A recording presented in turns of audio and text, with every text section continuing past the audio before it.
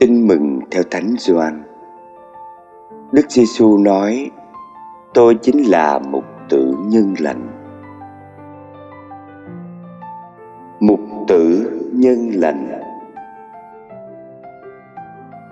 Trên đường lên nông trại, một người đang đi xuống vác theo một con chim mới lớn.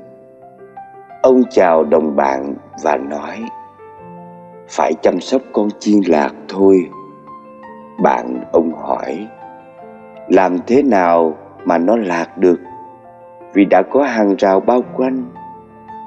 Ông nói, chúng mãi mê ăn cỏ, bỏ đàn là đi mất. Đôi khi chúng ta ra khỏi ràng bởi băng qua lỗ trống nơi hàng rào mà chẳng hay biết. Rồi loay hoay đi xa và không tìm được chỗ đã đi ra để quay về mục tử và đàn chiên trên đồng cỏ là một hình ảnh quen thuộc đối với người Palestine.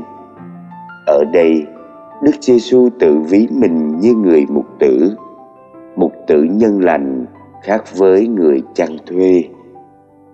Vì dám hy sinh mạng sống mình cho đoàn chiên chứ không bỏ chiên mà chạy khi có sói dữ đến.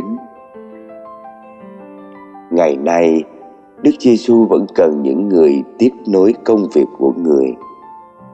Ở bên người cách đặc biệt để được người sai đi. Tiếng gọi của chúa vẫn vang lên ở ngay nơi lời nài xin của con người.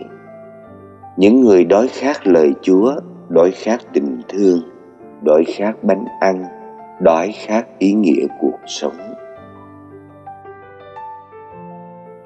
Lạy chúa, xin ban cho chúng con những mục tử có trái tim yêu thương, luôn say mê phục vụ chúa nơi con người, biết hy sinh đời mình để bảo vệ đoàn chiên, hầu dẫn đưa chúng con đến với chúa là nguồn sống đích thực.